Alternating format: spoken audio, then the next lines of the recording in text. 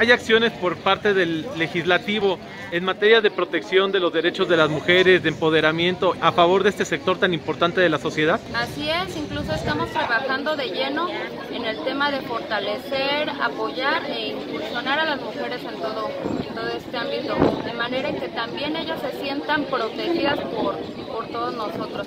No sé si sepan, pero en el Congreso la mayoría somos, somos mujeres, somos 25 de 40, cuales nos sentimos muy preocupadas por todas y Se- es el momento de actuar. Se está trabajando en este sentido para buscar derechos laborales también para las trabajadoras del hogar.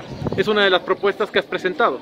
Así es, de hecho lo que queremos es este, tener esa igualdad tanto en la materia laboral como en todo tipo de género. ¿Qué pasa en materia turística? Estás llevando a cabo una agenda muy, muy completa con los municipios de Angangueo, Campo y Zitácuaro para la promoción del turismo y por supuesto en este caso el Festival de la Mariposa Monarca.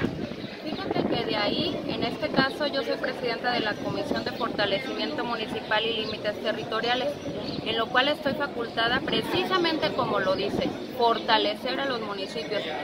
Y, de esta manera este, estamos tratando de interactuar incluso con otra compañera amiga diputada que es la, la titular en, este caso de la Comisión de Turismo, trabajar en conjunto porque lo que necesitamos el día de hoy es la reactivación económica, no nada más de, de cada uno de nuestros distritos, sino de todo el Estado. Yo creo que es el momento de ponerle más atención a nuestra gente. Hay una coordinación con los alcaldes de la región. Así es, estamos trabajando en conjunto, eh, estamos trabajando hombro a hombro porque el día de hoy así nuestra gente nos lo reclama y así es. Y más que nada es nuestro deber y nuestro compromiso que debemos de tener con todos.